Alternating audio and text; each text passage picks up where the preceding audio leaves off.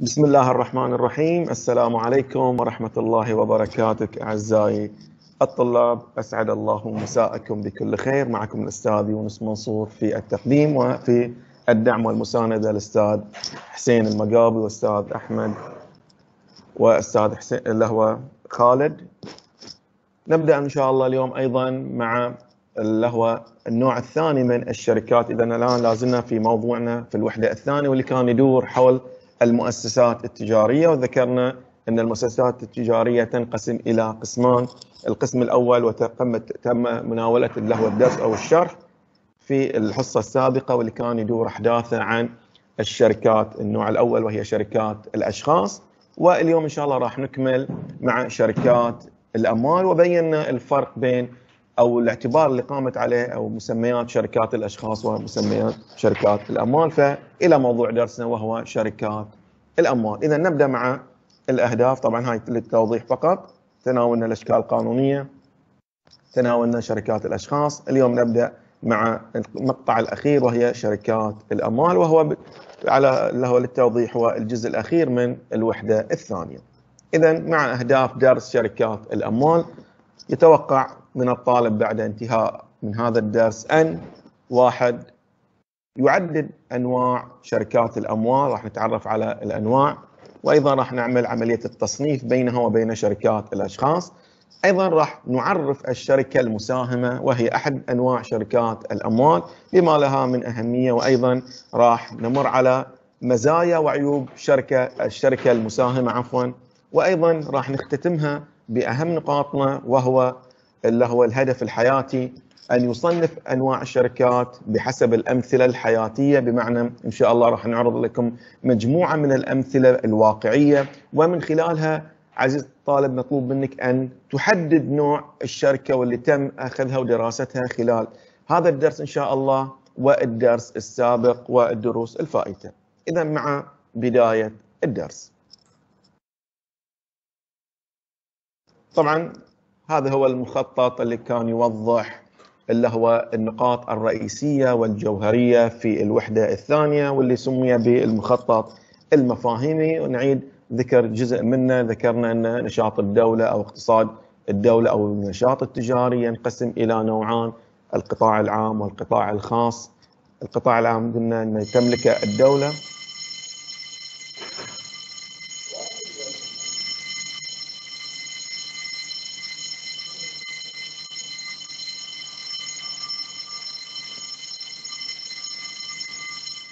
عفوا. طبعا ذكرنا أن القطاع العام تملكه الدولة ويقسم إلى ثلاثة أنواع الدوائر الحكومية منظمات الخدمات العامة والشركات العامة وذكرنا من أمثلة الشركات العامة شركة بابكو. أيضا ثم انتقلنا وانطلقنا في اللي هو درسنا أو وحدتنا الثانية في القطاع الخاص. وذكرنا ان دائما راح تتمركز وتتركز الوحدة الثانية على القطاع الخاص وتعرفنا على الشركات والمشروعات الفردية وذكرنا مزايا وعيوب المشروعات الفردية.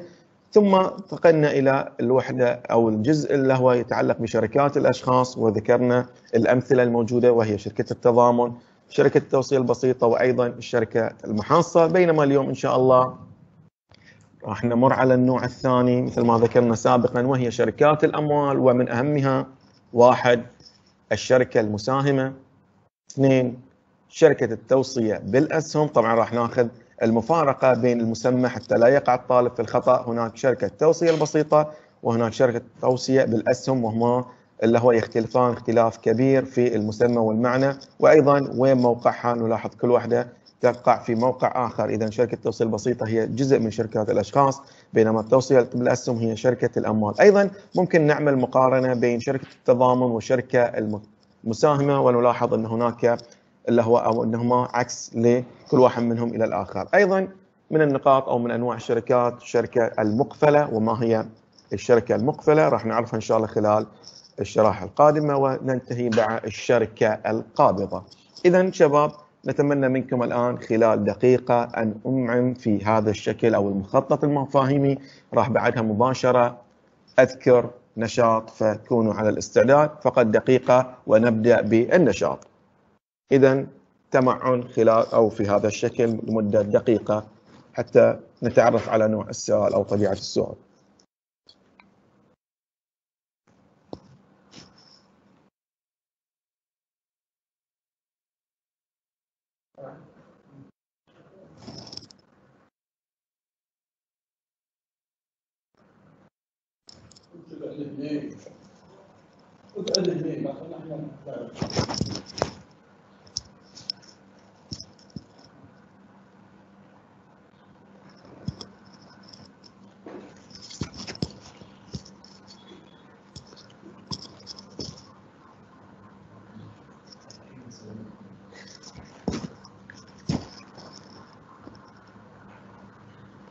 شارف الوقت على الانتهاء. نتمنى أن كل الطلاب قد أمعن النظر في هذا المخطط المفاهيمي. الآن راح نبدأ بالنشاط.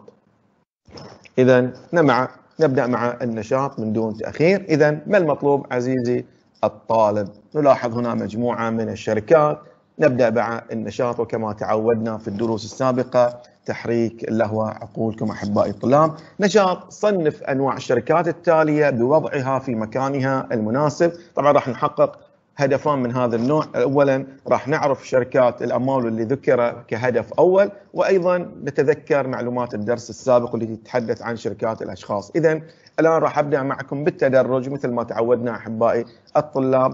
اللي هو أن نبدأ باللي هو الإجابة على رقم واحد. اذا فقط أحتاج أن تكتب رقم واحد في شريط المحادثة مع النوع الموجود. اذا الآن شركة تضامن هل هي شركة أشخاص أم شركة أموال؟ اذا أبدأ مع رقم واحد. فننتظر منكم الإجابة خلال 30 ثانية. إذا الآن راح ناخذ مبدأ التحدي والمدة عفوا مدتها 30 ثانية فنبدأ.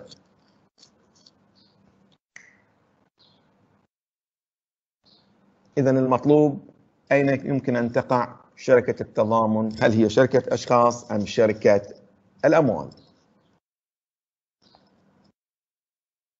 بدأت الإجابات تصل ب فريق الدعم. نشكر القائمين على الدعم والمساندة على الجهود الجبارة واللي هو إعطانا وتزويدنا بالإحصائيات اللي هو باستجابات الطلاب. طبعا نبدأ مع الإجابة ومعظم الإجابات كانت صحيحة بلا شك راح تكون في شركات الأشخاص وهي من أهم أنواع الشركات الأشخاص. الآن شركة التوصية البسيطة رقم اثنين.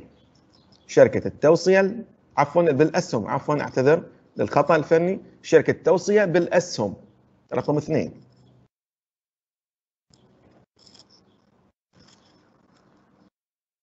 ينتظر منكم إجابات أحبائي الطلاب على شريط المحادثة.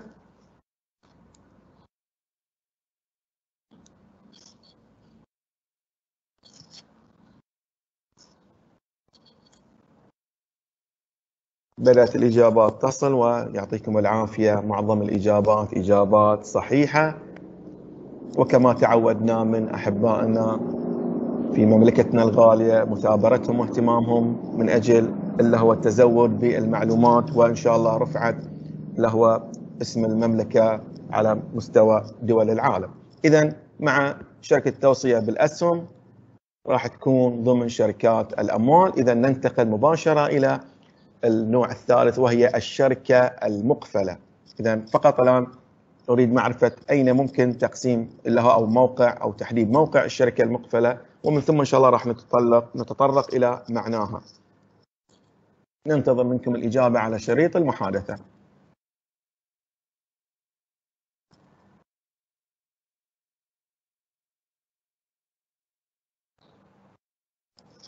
يعطيكم العافية. بدأت الإجابات تصل ومعظم الإجابات هي إجابات صحيحة.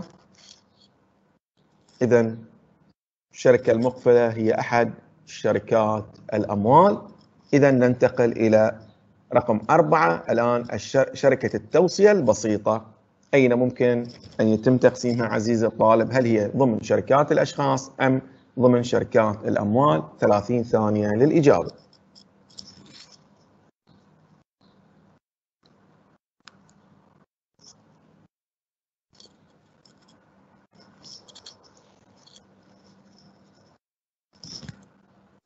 بدأت الإجابات ما شاء الله تصلنا ب يعني وإحنا نحن نقرأ في السؤال تبدأ الإجابات تنهال علينا في فريق الدعم والمساندة. يعطيكم ألف عافية ونتمنى دائما السرعة وليس التسرع حتى تكون الإجابة صحيحة. نتريث في قراءة السؤال ومعرفة أين تكون الإجابة بطريقة صحيحة. إذا شركة التوصية البسيطة هي من ضمن شركات الأشخاص. رقم خمسة الشركة القابضة. أين موقع الشركة القابضة؟ هل هي شركات الأشخاص أم شركات الأموال؟ ننتظر منكم الإجابة في شريط المحادثة والمدة 30 ثانية.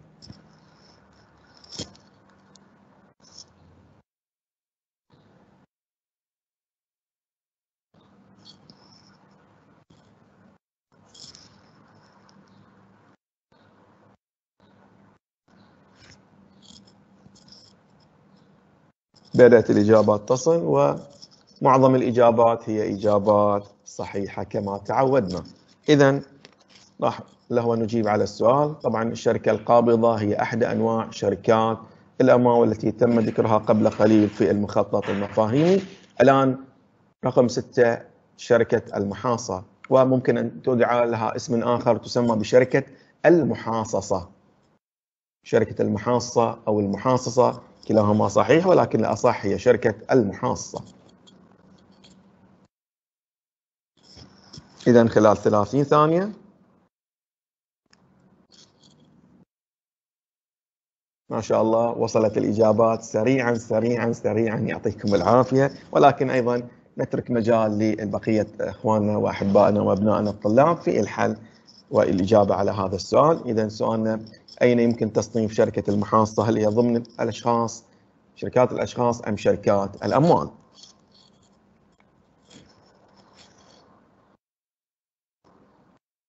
انتهى الوقت. إذا شركة المحاصة هي أحد أنواع شركات الأشخاص وذكرنا أن شركات الأشخاص مسؤوليتها غير محدودة أو معظم الأفراد فيها والأعضاء اللي هو مسؤوليتهم غير محدودة. طبعا ذكرت معظم؟ لأن هناك نوع فقط واحد ضمن شركة التوصية البسيطة ويسمى بالموصي وهذا الموصي يكون مسؤوليته محدودة. أما الطابع العام والغالب على هاي الأنواع قبل أن يسألني أحد منكم أعضاء الطلاب عن هذه أقول له ترى معظم هذه الشركات تتمثل في المسؤولية الغير محدودة. ما عدا جزء بسيط ضمن شركة التوصية البسيطة ويسمى بالموصي. إذا آخر نقطة وهي رقم سبعة الشركة المساهمة. أين موقع تصنيفها؟ هل هي ضمن شركات الأشخاص أم شركات الأموال؟ خلال 30 ثانية.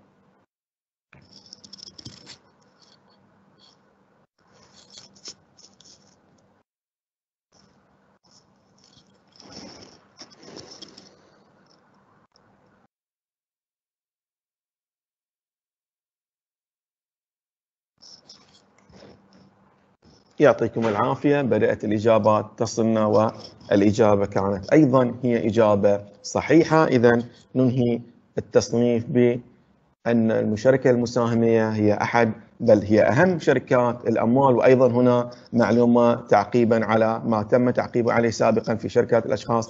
أيضا شركات الأموال معظم أعضاء هذا النوع من الشركات هم أو الشركاء عفوا هم له ذات مسؤولية محدودة ولكن هناك جزء بسيط ضمن شركة التوصية بالاسهم واللي راح إن شاء الله أمر عليه لذلك لا نسبق الأحداث تكون مسؤوليتهم غير محدودة لذلك الطابع العام على هذا النوع هو المسؤولية المحدودة.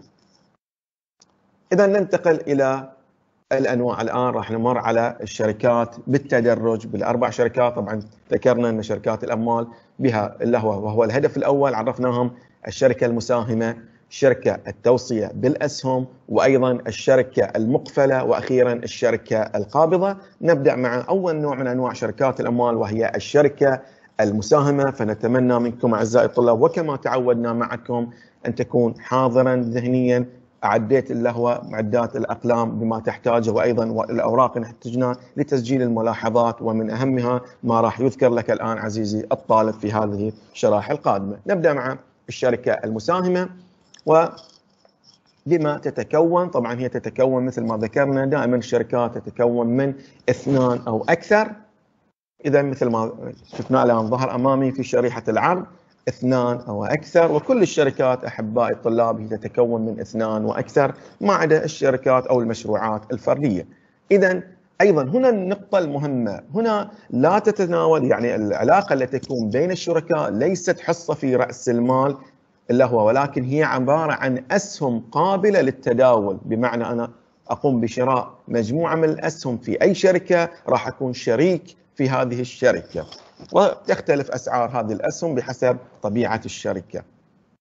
أيضا المشاركين في هذا النوع يعني مجرد أن تقوم بشراء هذا السهم من هذه الشركة راح يطلق عليك مسمى مساهم. والمجموعهم مساهمين. إذا هنا تتكون من مساهمين بعكس شركة التضامن والتي كانت تتكون من ما يسمى بالمتضامنين. هنا لا تسمى بالمساهمين. ما ميزة وما عفوا ما التزامات هذا النوع من المساهمين؟ وهو النقطة الأخيرة وهي مسؤولياتهم محدودة. جميع أعضاء هذا النوع من الشركة واللي يسمون بالمساهمين التزاماتهم محدودة. إذا الآن عرفنا أربعة مكونات رئيسية لتعريف اللي هو الشركة المساهمة. الآن نترككم إلى النشاط الثاني. إذا عزيز الطالب بما اكتسبته من معارف خلال هذا الدرس المطلوب منك عزيزي عرف الشركة المساهمة. ممكن أستخدم ما هو موجود الآن كنقاط مهمة ومفاتيح لكتابة اللي هو التعريف وأتمنى أن يكون بأسلوبك الخاص عزيزي الطالب. إذا خلال دقيقة أنتظر منك إجابة تعريف الشركة المساهمة فتفضلوا للإجابة.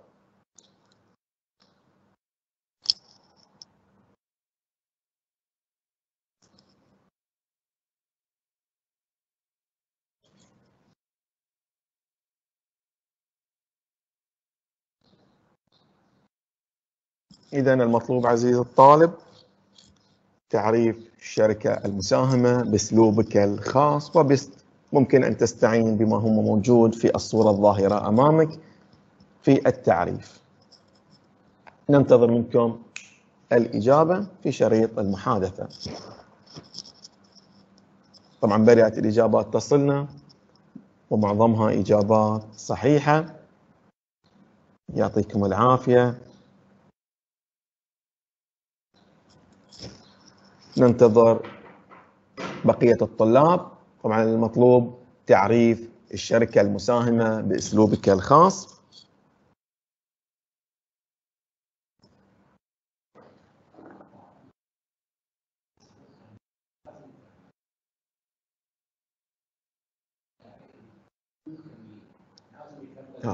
طبعا ملاحظة مهمة من فريق الدعم والمساندة. طبعا بعض الطلاب ويعطيهم العافية ذكر التعريف ولكن آه، التعريف يحتوي على أركان جوهرية لابد أن تذكر حتى لا يفقد من قيمته لأنه ممكن عند حذف جزء من اللي هو التعريف قد يتغير المسمى إلى شركة أخرى وهذه هي الفوارق الموجودة بين الشركات. فلا بد أن يحتوي على هاي العناصر الأربعة اثنان أو أكثر. قابلة للتداول مسؤولية محدودة وكلمة مساهمين. لو أنت اقتضبت منه جزء من هذا قد يتحول إلى نوع آخر. مثال الآن لو أنا حذفت كلمة مساهمين قد تعرف هذا النوع بأنها شركة تضامن. فبالتالي يجب أن نوضح أو نضع الأركان ومفاتيح اللي هو التعريف اللي تعودنا أن نذكرها في الحصص السابقة وأيضا في هذا الدرس. إذا نشكركم على اللي هو تفهمكم إن شاء الله نرى في الأنشطة القادمة إجابة كاملة، اذا الآن راح نعرض الإجابة لتعريف الشركة المساهمة. اذا مثل ما ظهر أمامنا الآن وفي أسفل الصورة شركة تتألف من اثنين وأكثر وهذه تم أخذها من من من النقطة الأولى. أيضا يكتتبون فيها بأسهم قابلة للتداول، ما يميز هذا النوع من الشركات إنها أسهم وقابلة للتداول. طبعا ما معنى قابلة للتداول؟ للتوضيح قبل سؤال. أي طالب قبل سؤال؟ أي أحد من أحبائنا الطلاب طبعا كلمة قابل للتداول أن لكل المواطنين حرية أخذ هذا السهم أو أن يكون شريكا في هذه الشركة. يعني يوم الأيام أنت حبيت ترغب أن تكون أحد الشركاء المساهمين. طبعا لازم أن تكون الشركة مساهمة. فمجرد أن تتوجه إلى أي منطقة تباع فيها الأسهم الخاصة بهذه الشركة سواء داخل الشركة أو تم وضع نقاط خارج الشركة وتطلبها بحسب المبلغ الذي لديك، لن يكون هناك معارضة لك ولن يكون هناك رفض إذا كانت الأسهم متوافرة لديهم، فهذه تسمى قابلة للتداول، طبعا راح نمر إن شاء الله ونعرج على نوع آخر غير قابل للتداول، اذا الآن قابل للتداول أي تطرح لكل الناس ولهم حرية شرائها أو عدم الشراء. ويكون الشركاء فيها أيضا الميزة مسؤولين مساهمين عن ديون الشركة اذا كلمة مساهمين ومسؤوليتهم شنو؟ عن ديونها بقدر قيمة أسهمهم يعني بقدر حصتهم أو أسهمهم من رأس المال، هذه هي تعريف الشركة المساهمة ونتمنى أن نوفقنا في توضيح الفكرة. الآن ننتقل إلى مزايا وعيوب هذا النوع من الشركات، اذا أخذنا في الدروس السابقة مزايا المشروعات الفردية وعيوبها ثم انتقلنا إلى اللي هو مزايا شركة التضامن أيضا كان لها مزايا وعيوب. اليوم راح نختمها بآخر نوع من المزايا والعيوب في النوع الثالث وهي الشركة المساهمة. إذا مع مزايا وعيوب الشركة المساهمة وهو الهدف الثالث. إذا حققنا الآن الهدف الأول والهدف الثاني الآن ننتقل إلى الهدف الثالث وهو التمييز بين المزايا والعيوب ولكن قبلها نذكر ملاحظة جدا مهمة. لو انضم شريك جديد في الشركة المساهمة ما هي التزامات هذا الشريك؟ طبعا تختلف عن شركة التضامن. إذا انضم شريك جديد للشركة كان غير مسؤولا بما أنها هي شركة ذات مسؤولية محدودة هذه هي الميزة في هذه الشركة. يكون غير مسؤولا مع باقي الشركاء يعني مو بس هو هو والشركاء الآخرين مسؤولين بقدر حصتهم من أسهم الشركة. لذلك هي أقل خطورة من شركة التضامن من حيث تحمل المسؤولية في سداد الديون. ونتذكر في التضامن كانت الديون السابقة واللاحقة. هنا في الشركة المساهمة لا فقط اللاحقة ولكن بقدر حصته وليست السابقة. إذا أنهينا المعنى ننتقل إلى المزايا والعيوب من دون تأخير. إذا شركات الأموال لها مزايا ولها عيوب. نبدأ باللي هو عرض المزايا وثم نطبق إن شاء الله النشاط. إذا نحتاج إذا تسجيل هذه الملاحظات في دفتر الملاحظات أو أوراق الملاحظات. أولا هذه تتميز أيضا بحالها حال شركات التضامن بأن لها قدرة على جذب الاستثمارات والموارد الماليه، هذه أول اللي هو نقطة بما أن هناك مجموعة كبيرة من الشركاء فعندهم قدرة أن يتم جمع أموال كبيرة وهي ما تسمى بالاستثمارات. النقطة الثانية طبعا بلا شك كلما زاد عدد المشاركين الشركاء بمعنى أصح راح تكون هناك خبرات لكل اللي هو شريك وبالتالي هناك توافر وفرة في الخبرات الإدارية. وفرة وهذه أيضا تشبه شركة التضامن من حيث الميزة. ثالثا وهي التي تختلف عن شركات التضامن بأن مسؤوليات الشركاء في هذا النوع مسؤولية محدودة. رابعا وهذه تتبع النقطة رقم واحد توافر السيولة بين قوسين الأموال. تجد مبالغ جدا ضخمة في هذه الشركات بسبب القدرة على جذب الاستثمارات. نلاحظ أن توفير السيولة هي تكملة للنقطة الأولى. خامسا وأخيرا عمر المنظمة بمعنى عمر الشركة غير محدود لأنها لا تعتمد على حياة ملاكها مثل اللي هو المشروعات الفردية وأيضا شركة التضامن ذكرنا شركة التضامن لما يتوفى أحد الأشخاص صعب أن تنقل حصة الشريك إلى شخص آخر بسبب الثقة فبالتالي يتم إيقاف المشروع. بينما في هذا النوع من الشركات فعمر المنظمة غير محدود.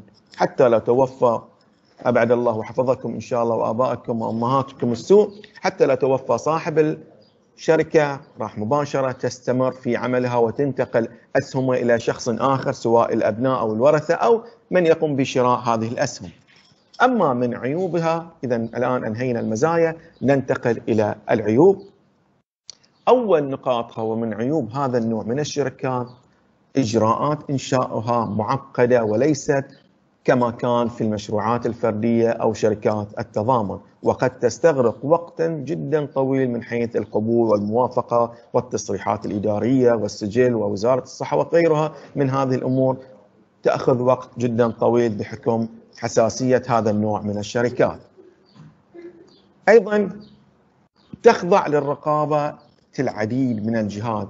هناك أعداد كبيرة اللي هو تخضع لها هذا النوع من الشركات من ضمنها اللي هو مصرف البحرين المركزي يكون جد مسؤول عنها. أيضا الجهات الحكومية مثل ما ذكرنا وزارة الصحة وزارة التجارة والصناعة أيضا تكون لهم دور بسبب أن هذه الشركات تحتوي من مزاياها سيولة كبيرة وقدرة جذب الاستثمارات فبالتالي هذا النوع من الشركات تكون مبالغ جدا جدا جدا ضخمة. فبالتالي لابد من تحتاج إلى المتابعة حتى تحمي اللي هو أن تكون غطاء وحماية إلى المشاركين في هذا النوع من الشركات من ضياع أموالهم.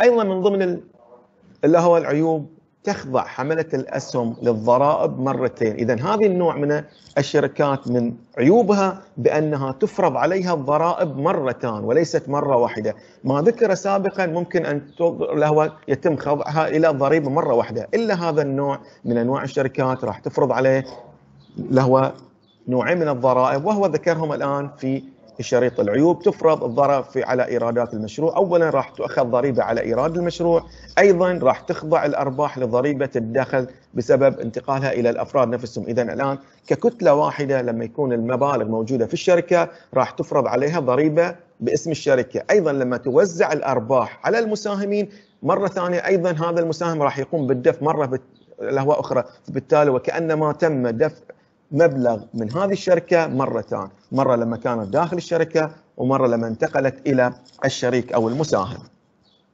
إذا هذه هي المزايا والعيوب. الآن أيضا نعطيكم وقفة تأمل وقراءة متأنية بوقتها دقيقة حتى ننتقل إلى النشاط فنتمنى منكم القراءة المتأنية. فتفضلوا.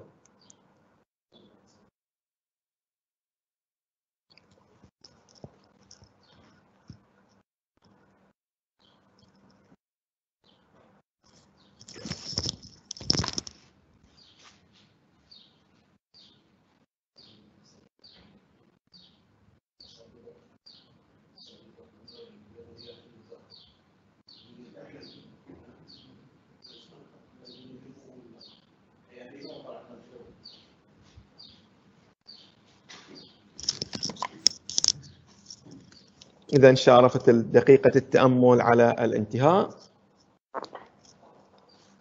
إن شاء الله راح ننتقل مباشرة إلى النشاط فكونوا على الاستعداد. انتهى وقت الدقيقة ومع النشاط التالي. إذا أيضا ما المطلوب أعزائي الطلاب؟ نشاط ضع مزايا وعيوب الشركة المساهمة في موقعها الصحيح ومثل ما تعودنا نرجد المزايا والعيوب موجودين ومبعثرين في الأعلى. عزيزي الطالب ما عليك إلا أن ترتبها في موقعها الصحيح سواء تحت مسمى المزايا أم العيوب. وراح نبدأ مع رقم واحد مثل ما تعودنا نبدأ بالتدرج حتى لا يكون هناك إرباك بالنسبة إلى فريق الدعم والمساندة. إذا رقم واحد مسؤولية الشركاء محدودة. هل هي ضمن المزايا أحبائي أم ضمن العيوب؟ 30 ثانية للإجابة.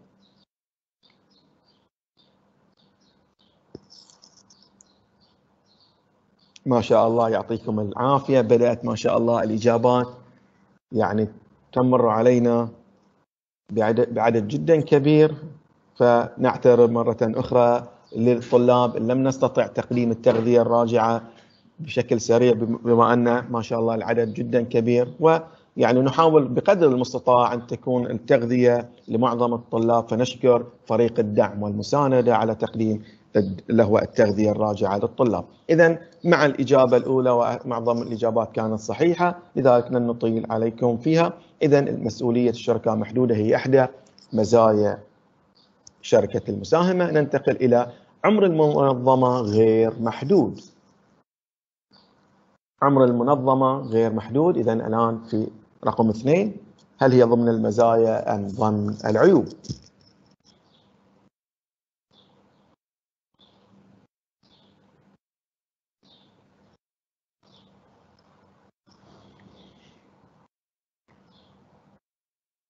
يعطيكم العافية. إجابات صحيحة مع انتهاء الوقت. إذا الآن أين تكون الإجابة؟ طبعا عمر المنظمة غير محدود ويا من أهم مزايا الشركة المساهمة. أيضا رقم ثلاثة تخضع لرقابة العديد من الجهات. إذا هناك إشراف ومتابعة لعمل هذه النوع من الشركات. إذا هل هي ضمن المزايا بالنسبة إلى ملاكها أم ضمن العيوب.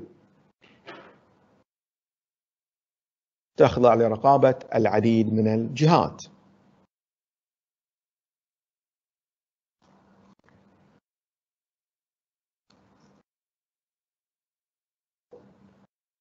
يعطيكم العافية. معظم الإجابات صحيحة ولكن ننتظر الزمن حتى ننهي النشاط أو الجزء من هذا النشاط. انتهى الوقت. إذا نتأكد من الجواب بلا شك. رقابة هي ضمن العيوب. رابعا توافر السيولة. وذكرناها بين قوسين معناته توافر الأموال بكميات جدا ضخمة أي حجم رأس المال جدا كبير.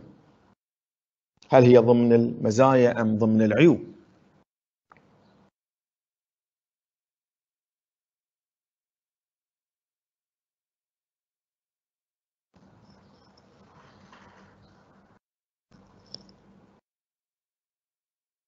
يعطيكم العافية.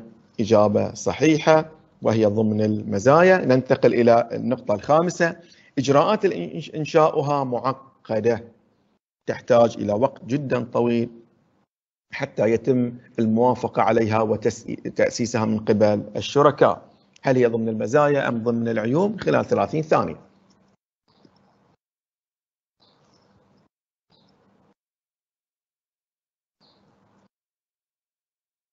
يعطيكم العافية. بدأت الإجابات تصل في شريط المحادثة وكل تقريبا الإجابات إجابات صحيحة. إذا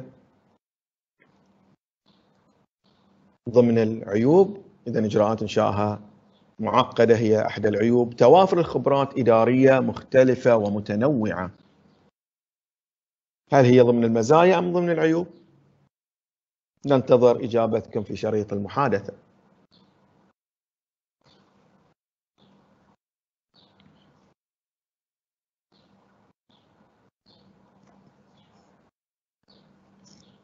إذا يعطيكم العافية. إجابة صحيحة ضمن المزايا. ننتقل إلى رقم ستة القدرة على جذب الاستثمارات والموارد المالية. هل هي ضمن المزايا أم ضمن العيوب؟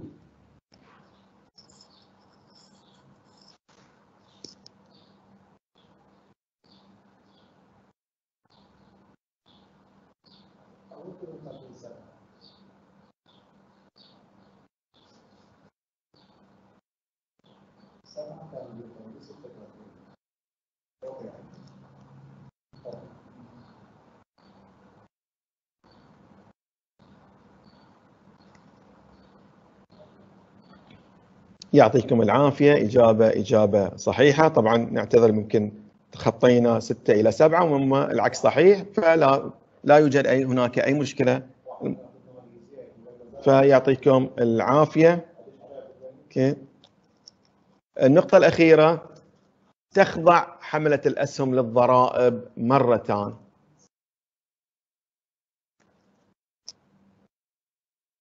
النقطة الأخيرة واللي راح نختم بها النشاط المزايا والعيوب تخضع حملة الأسهم للضرائب مرتين وذكرناها آه، له وتم وضح توضيح متى يتم تحصيل الضرائب سواء مع بداية الإيرادات وتحصيلها من قبل الشركة أو عند استلامها من قبل الشركاء كربح.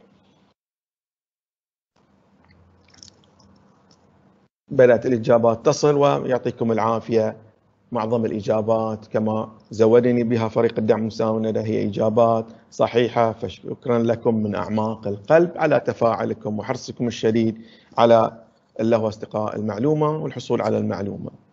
إذا مع النوع الآخر الأخير عفوا وهو ضمن اللي هو العيوب. تخضع حملة الأسهم هي إحدى عيوب الشركة المساهمة. إذا بذلك أنهينا الهدف الثالث وهو التصنيف المزايا والعيوب ننتقل إلى تكملة القصة من الأنواع الثلاثة المتبقية ومن ثم الحالات المتعلق بأنواع الشركات. فأيضا نحتاج أن تكون مستعدا في تسجيل الملاحظات مع شركة توصية بالأسهم. إذا نبدأ مع عرض هذا النوع. أولا أيضا هي تتكون من اثنان وأكثر وقلنا, وقلنا سابقا جميع الشركات تتكون من اثنان وأكثر ولكن هنا لها نوعان لها قسمان من الشركاء. القسم الأول هم شركاء متضامنين. إذا رجعت أنواع الشركات المتضامنين واللي كانت موجودة ضمن شركات أشخاص أيضا هنا ولكن خلينا نتابع ما التزاماتهم ومن نوع أو الشريك الثاني. إذا النوع الأول هم شركاء متضامنين لذلك يسمى الشريك متضامن. أما النوع الثاني وهو شركاء مساهمين وليست شركاء موصين. هذا الفرق بينه وبين شركة توصية بالأسهم. إذا شركاء متضامنين وشركاء مساهمين. أيضا نلاحظ التعريف. شركة تتألف من شخصين أو أكثر متضامنين ومسؤولين عن التزامات شركة يعني التزاماتهم جميعهم غير محدودة. وبين شريك أو أكثر مساهمين وخارجين عن إرادة إدارتها. طبعا إذا كانوا متضامنين وهم يتحملون المخاطرة فبالتالي هم أصحاب القرار في الشركة. أما المساهمين فيكونون خارج عن إدارتها لأنهم راح فقط يتحملون مسؤولية ديون بحسب حصتهم من رأس المال. وهذا ما أنهى في اللي هو شرح التعريف. إذا شركة متضامنين بمعنى مسؤولين عن جميع التزامات الشركة بينما النوع الثاني مسؤولين عن التزامات الشركة بقدر حصتهم وخارج عن الإدارة. إذا شركة التوصية بالأسهم قد تتشابه مع شركة التوصية بال اللي هو بالبسيطة ولكن تختلف في اسم الشريك. هناك الشريك يسمى موصي أما هنا فيسمى الشريك مساهم وموقعها تحت شركات الأموال. أنهينا الآن الشركة التوصية بالأسهم. الآن ننتقل إلى النشاط الثالث وهو عملية دمج اللي هو بين ما تعلمناه خلال هذا الدرس والدرس السابق وهي مقارنة بين شركة التوصية البسيطة وشركة التوصية بالأسهم فإلى النشاط. بما اكتسبته من معارف خلال هذا الدرس والدرس السابق. قارن بين الشركة التوصية البسيطة والشركة التوصية بالأسهم في كل مما يلي. علما بأننا قمنا بشرح جزئية مهمة أثناء الدرس اليوم. أولا شركة التوصية البسيطة طبعا راح نأخذهم خطوة خطوة. نوع الشركة. التوصية البسيطة إلى تحت أي نوع من أنواع الشركات تنقسم؟ يعني هل هي تحت اسم شركات الأموال أم شركات الأشخاص وأيضا شركة التوصية بالأسهم. الآن المطلوب النوع الأول.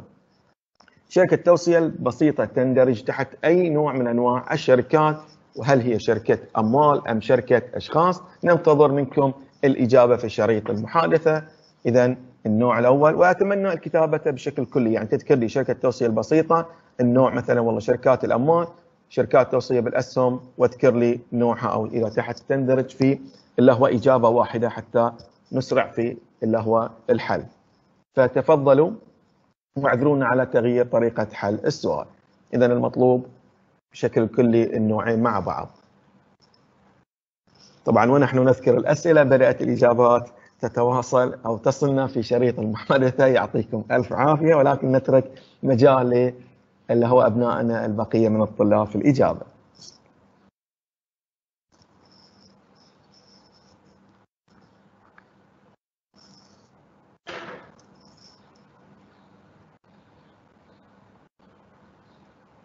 يعطيكم العافية. معظم الإجابات كانت إجابات صحيحة وأتوقع المعلومة أصبحت جدا جدا سهلة بما أننا تم ذكرها في مواقف أخرى.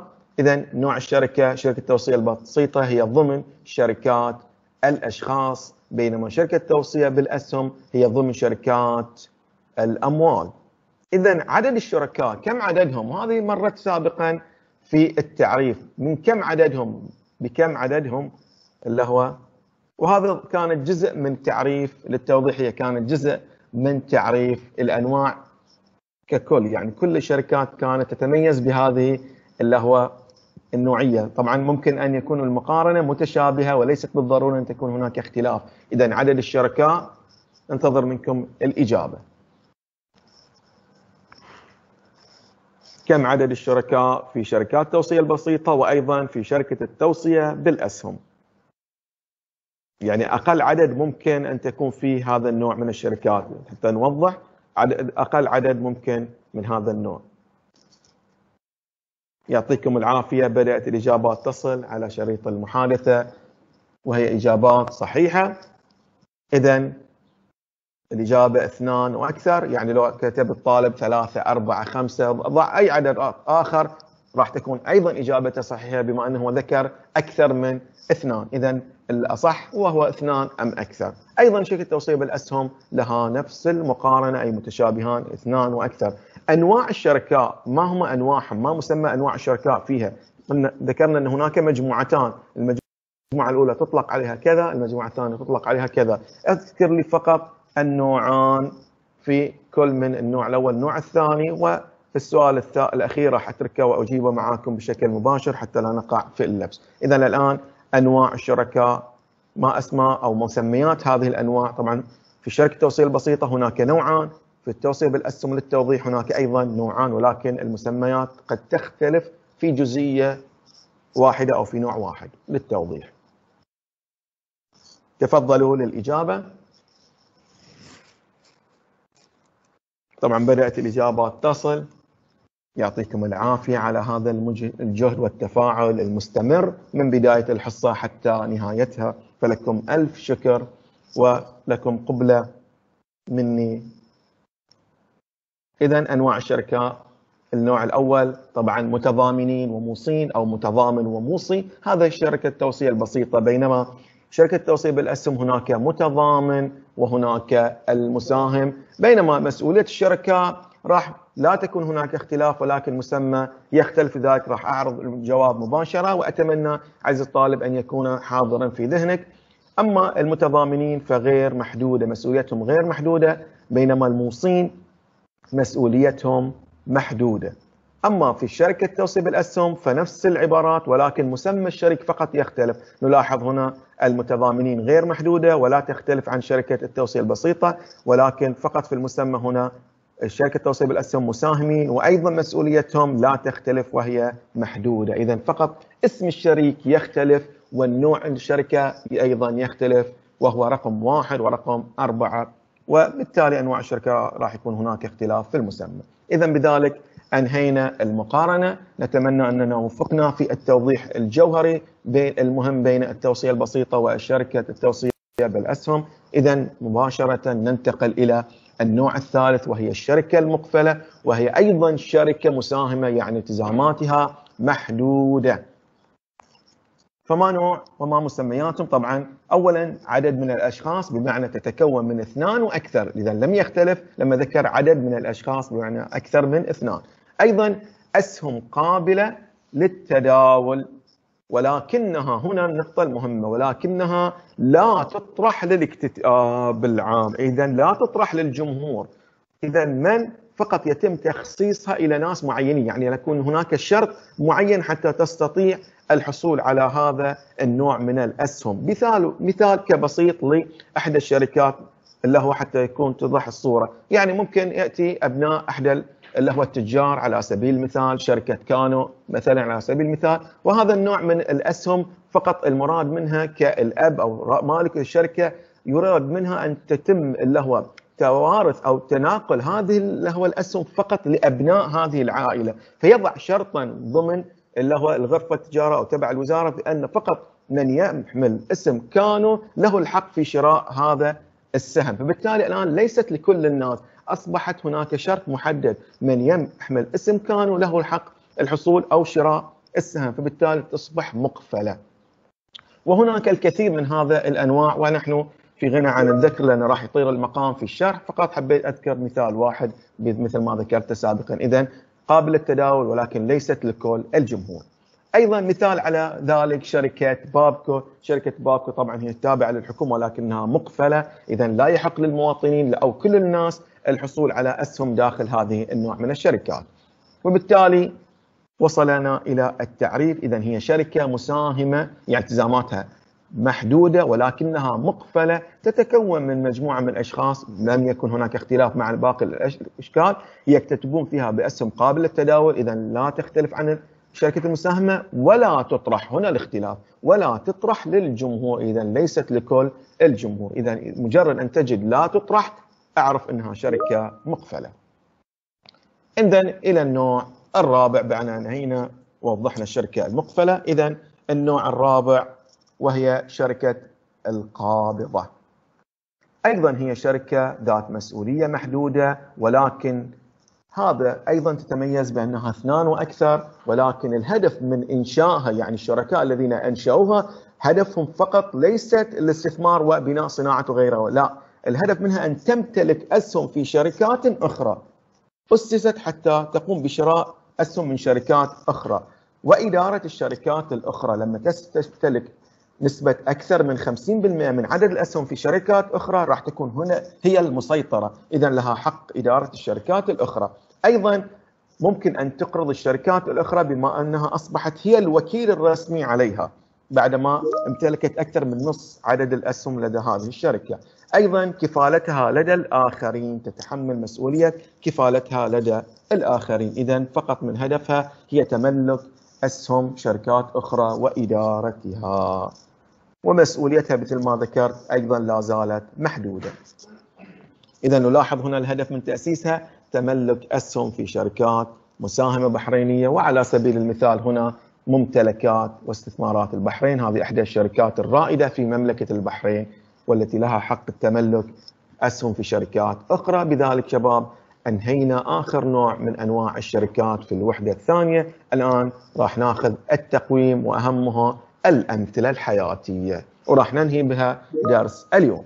إذا أول وحدة فقط مطلوب منك تحدد نوع الشركات من أنواع التي مرت علينا سواء فردية مساهمة متضامنة وغيرها على حسب السؤال. اغتنم محمد واثنان من أصدقائه فرصة شراء منزل معروض للبيع من قبل زميلهم بسعر مناسب فقاموا بشرائه فورا بهدف بيعه والحصول على ربح مناسب. وإذا هنا المفتاح الحل اغتنام الفرصة للتوضيح. إذا أي نوع من أنواع الشركات؟ ننتظر منكم الإجابة خلال 30 ثانية بحكم الوقت ولا زال هناك ستة أمثلة إضافية. إذا نسرع في الإجابة. إذا أي نوع من أنواع الشركات أحتاج تذكر المسمى بدأت الإجابات تصل يعطيكم العافية. طبعا معظم الإجابات صحيحة إذا نتأكد من الجواب. شركة المحاصة اغتنام الفرصة هي شركة المحاصة. إلى النوع الثاني. كون محمد وجاسم شركة باسم شركة الآفاق للكمبيوتر فهما مسؤولان عن التزامات الشركة في جميع أموالها حتى الخاصة منها في أي نوع من أنواع الشركات. أي نوع من أنواع الشركات اللي كانت التزاماتهم غير محدودة وهو هذا السؤال هو السؤال التحدي بالنسبة لكم أحبائنا الطلاب ونتمنى أن تكونون بقدر التحدي. ننتظر الإجابة في شريط المحادثة.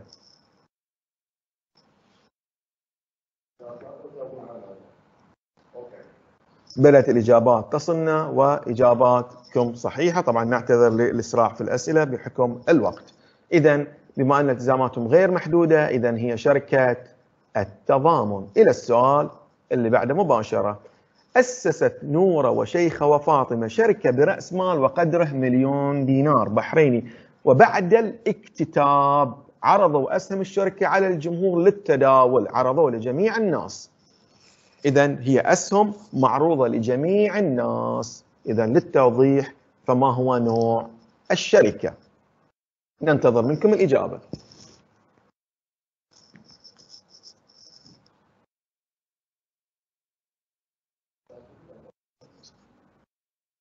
نلاحظ عرضت على جميع الناس وهي قابلة للتداول.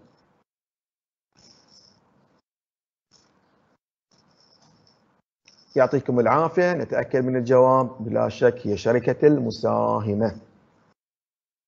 النوع الرابع قرر محمد فتح شركة برأس مال قدره 6000 دينار ولأنه لا يملك المال الكافي قرر إشراك أخوته حسن محمد وسلمان في المشروع إلا أن موافقة سلمان كانت مختلفة عن البقية.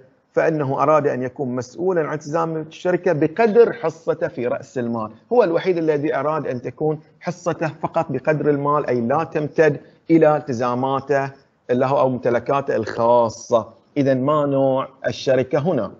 علما بأنهم إخوان وتم تأسيس الشراكة بينهم فقط وهذا للتوضيح أيضا.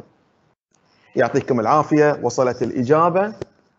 اذا الجواب بلا شك هي شركة التوصية البسيطة. خامسا بعد تخرج راشد من المعهد البحرين للتدريب تخصص إلكترونيا أسس له محل صغير لبيع الهواتف النقالة. من يتذكر هذا النوع من المشاريع؟ فقط هو الوحيد الذي أسس له وهو المدير وهو البائع وهو مالك كل شيء وهو متخذ الإجراءات وهذا للتوضيح ومتخذ القرارات عفوا في الشركة أو في هذا النوع عفوا من الأعمال. إذا ما هو نوع الشركة؟ طبعا ليس بالتحديد يوضح بكلمة شراكة يعني شركة فقط للتوضيح. إذا الإجابة إجابة صحيحة وهي المشروعات الفردية أو الشخص الواحد. شركة نفط البحرين بابكو. مملوكة بالكامل لحكومة مملكة البحرين وذلك يجتمع على استكشاف وغيرها وأيضا من أهم نقاطها لا تطرح للجمهور.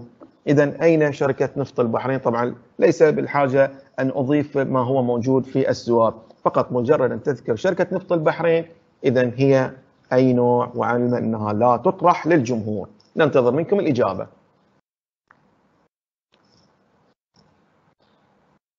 يعطيكم العافية. معظم الإجابات إجابات صحيحة. بلا شك هي مقفلة مع آخر سؤال. شركة دلمون للدواجن شركة مساهمة بحرينية تأسست عام 1980 بموجب قانون والتي كانت لحكومة مملكة البحرين دور الأساس وغيرها حتى يتكون يوصل إلى الطرف الأخير أو السطر الأخير وتتكون من نوعين من الشركاء. الأول الشريك المتضامن في جميع التزامات الشركة والآخر مساهم بقدر حصته من الأسهم في رأس المال. فما هو هذا النوع؟ ونختم به درس اليوم.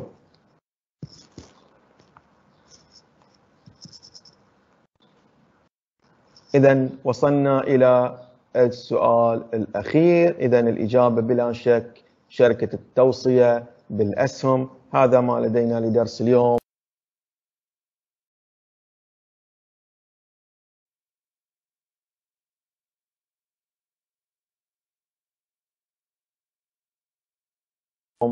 على أمل اللقاء فيكم في دروس أخرى والسلام عليكم ورحمة الله وبركاته.